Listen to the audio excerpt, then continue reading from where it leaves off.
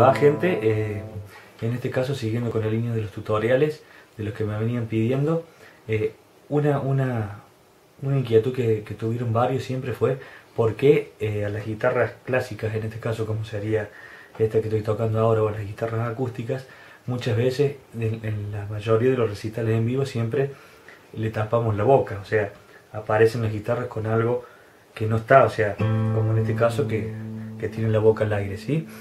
Es por una cuestión de, con la amplificación y los parlantes que se usan en el escenario, siempre el sonido, que se llama retorno casualmente, le decimos en Argentina, o monitoreo, el sonido sale del, del parlante que nosotros escuchamos y a la vez, mientras está saliendo del parlante, ingresa por la boca de la guitarra y ahí es donde se nos producen los, los principales acoples. ¿sí? Entonces, por una cuestión de, de sonido, de no, de no acoplar en el escenario y a la vez escuchar por ahí, generalmente cuando tocamos mucho con pedales de efectos, es escuchar, siempre es mejor escuchar el sonido que ya sale procesado y no el de la guitarra también que lo estamos escuchando, el sonido del, que sale por la boca. Entonces en ese caso lo que implementamos muchos guitarristas es similar a una guitarra eh, eléctrica o de, o de caja maciza como las guitarras clásicas o acústicas no son de caja maciza, tenemos que de alguna manera taparle la boca. Entonces vienen algunos anti-feedback que se llama, que sería anti-acople el nombre. Y bueno, eh, nosotros acá en Argentina siempre tratamos de eh, hacer las cosas mucho más prácticas e implementamos sistemas, por ejemplo, como este, que pueden apreciar acá, que es una tapa de madera con una madera de fibro fácil por el lado de atrás en donde se introduciría de esta forma en la guitarra y automáticamente queda la guitarra con la boca tapada. Ustedes pueden observar que el volumen acústico es mucho menor, pero sabemos que usar guitarras con sistema de amplificador, con micrófonos, tanto piezoeléctrico como por caja interna, el sonido que va a la caja de la guitarra no interfiere con el sonido que sale, salvo que usemos un micrófono en el frente, pero en este caso no.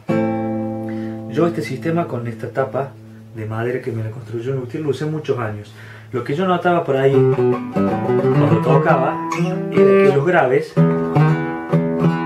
no resonaban como resonaban con la guitarra sin, sin taparle la boca. Inclusive por el sistema de, de preamplificación por línea porque me pasa que al usar este sistema así, al ser tan duro y tan rígido, el tapaboca, digamos que le decimos tapaboca o anti-feedback, endurece todo lo que sería la tapa de resonancia de la guitarra. Entonces se pierde todo lo que serían las frecuencias bien graves que también las toma el piezo eléctrico. Entonces por ese caso, este yo lo usé muchos años, pero después dejé de utilizarlo. Después empecé a usar otro sistema que es esto, que serían unos pliegues de goma eva o caucho, también se puede hacer con caucho, fibras de corcho, ¿eh? donde está cortado sobre la circunferencia, siempre un poquito más ancha que, lo que sería la boca, como un taponcito que sería una tapa, y cumple la misma función. ¿sí? No más que es más práctico de colocar, es más un poco más liviano y a la vez no interfiere tanto sobre todo los graves en las guitarras clásicas, ¿sí?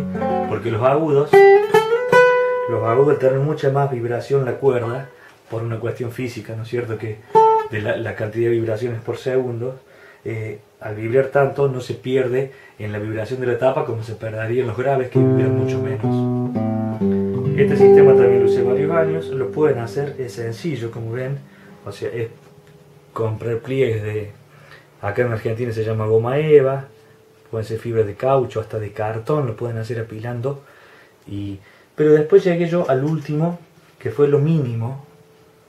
Digamos, y en realidad lo que necesita la tapa, o sea, lo que necesita eh, acústicamente el instrumento es que, el, que no, no, le, no le ingresen eh, ondas de frecuencia de sonido desde el frente, que es lo que nosotros escuchamos, salvo que usemos monitoreo eh, por auriculares, pero lo que, la función primordial es esa, que no ingrese el sonido que ya salió de la guitarra y eso se llama retroalimentación, feedback o vuelta, ¿sí? que es el acople, lo primero que genera un acople.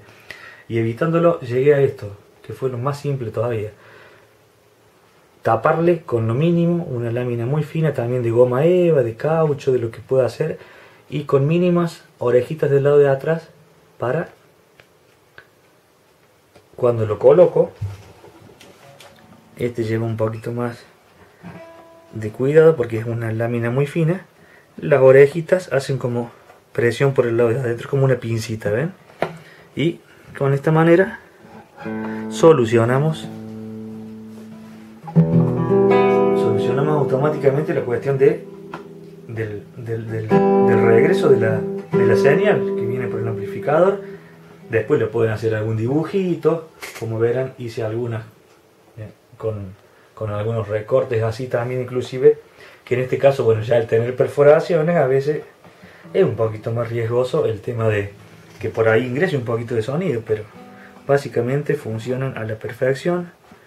Se hacen muy, muy fáciles, muy sencillas, porque lo que hay que tener que siempre cuidado que la mayoría de las guitarras clásicas no tienen una un rango de circunferencia exacto, o que por ahí yo también he comprado que vienen a unos 30, 40 dólares de una marca específica pero andan funcionan en muy pocas guitarras estándar, digamos, ¿sí?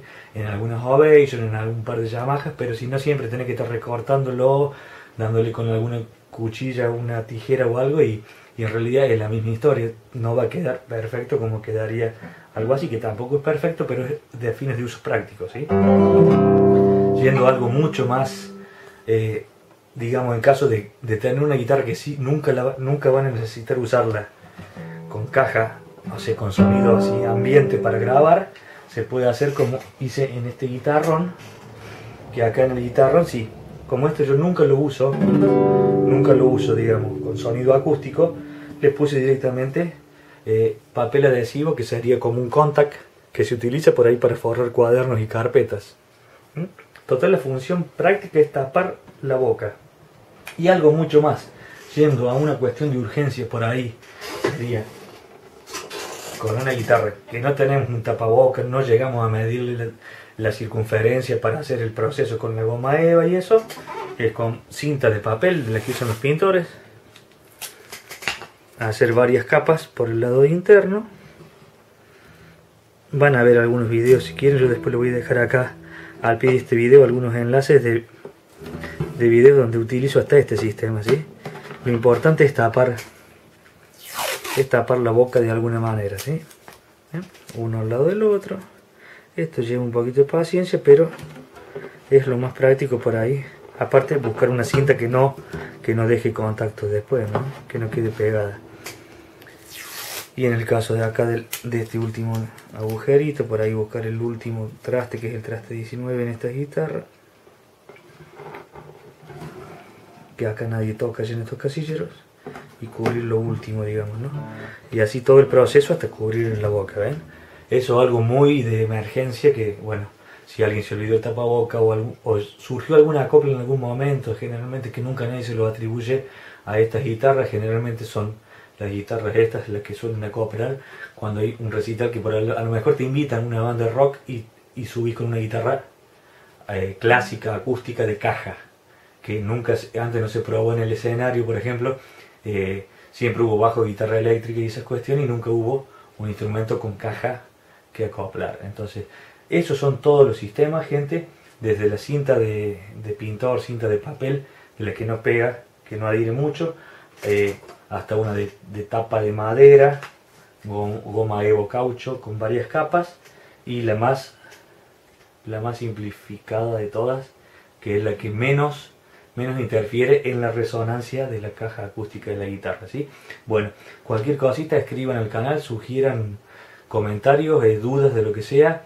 Espero haberle aclarado a mucha gente que me venía preguntando por qué tapaba la boca y qué, cómo, podían, cómo podían hacer tapabocas o antifeedback baratos, económicos, ¿sí? Espero que les haya resultado. Escriban, sugieran, comenten. Acá al pie del canal van a encontrar más videos, más enlaces y bueno, cualquier duda escriban. Muchísimas gracias.